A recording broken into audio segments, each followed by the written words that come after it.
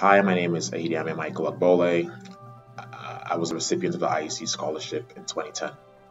I went to school at McMaster University, where I uh, majored in economics, then went on to pursue my MBA a few years after, also at McMaster University. That educational background set me up for my current career today. Um, I'm an investment banker at one of the financial institutions here in Canada.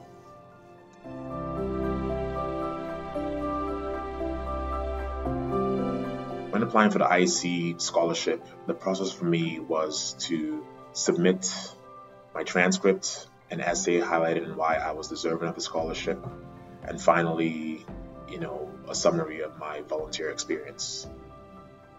And with that mentioned, I'd like to sort of maybe harp on why I think it's so important to volunteer. First and foremost, you know, as Christians, I think we're called to serve. So I think it's important for us to share our God given gifts and talents with uh, communities and people who are in need of these uh, talents.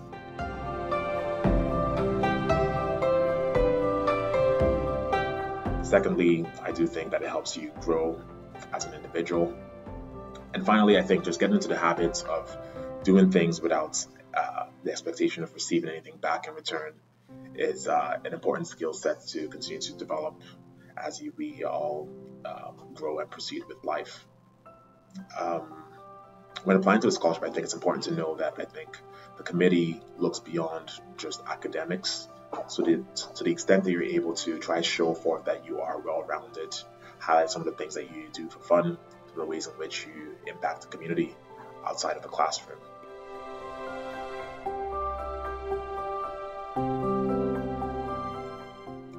Um, in terms of the scholarship and what it meant for me specifically, um, and sort of how it helped me achieve my educational goal, scholarship I think gave me a good, strong start uh, philosophically speaking, I think it's important in every facet of life to get a get off to a strong start because I think you are disadvantaged if you have uh, otherwise slower start versus other people.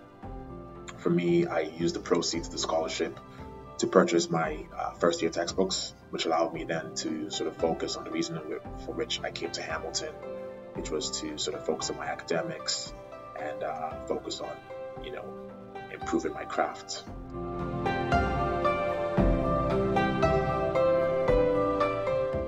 So one piece of advice I think I'd like to give, you know, applicants for the IEC scholarship is for you to try as best as possible to be true to yourself. And what I mean by this is that each and every one of us has a skill set or something that is unique to us that cannot be replicated in other people. Or said differently, like no one is better at being you than you. So to the extent that you're able to show forth some of those things that make you very unique I think it will put you in the best light when applying for the scholarship.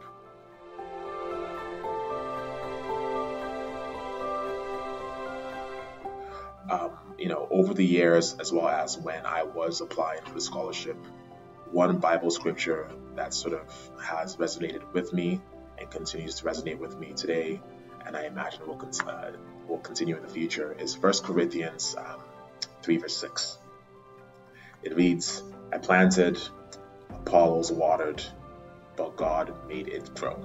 And for me, that's my favorite Bible scripture because I think it applies with almost everything in life. I think it's important when we think about our goals that in order for us to get anything, we need to work. And that's the first half of that scripture, just plant it. But the more important part of that scripture for me is that God made it grow. And